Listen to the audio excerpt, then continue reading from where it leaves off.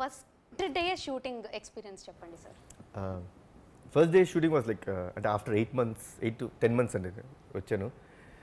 Uh, చాలా భయంగా ఉండింది.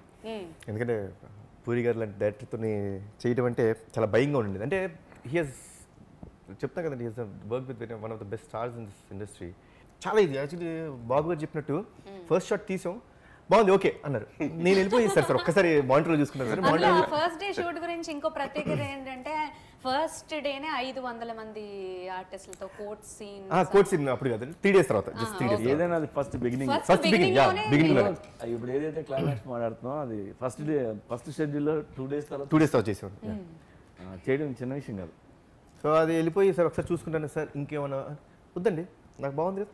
I like it it's next shot so that was that and yeah it was lovely working with Mann మన నేనైతే పొద్దున్నే లేచి ఓకే రెడీ అవటం వరకు నా బ్రెయిన్ పెట్టి ఇట్లా రెడీ అవ్వాలి కాబట్టి ఇట్లా సోప్ వేసుకోవాలి ఫేస్ వాష్ చేసుకోవాలి.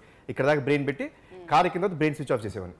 ఎందుకంటే అక్కడికి వెళ్తే ఆయన చెప్పింది చేస్తే చాలు. ఆయన చెప్పింది చేస్తే చాలు. Because he explains the whole thing that good అంత బాగా చెప్తారు. ఏం కావాలి? మోడ్యులేషన్ ఎలా ఉండాలి?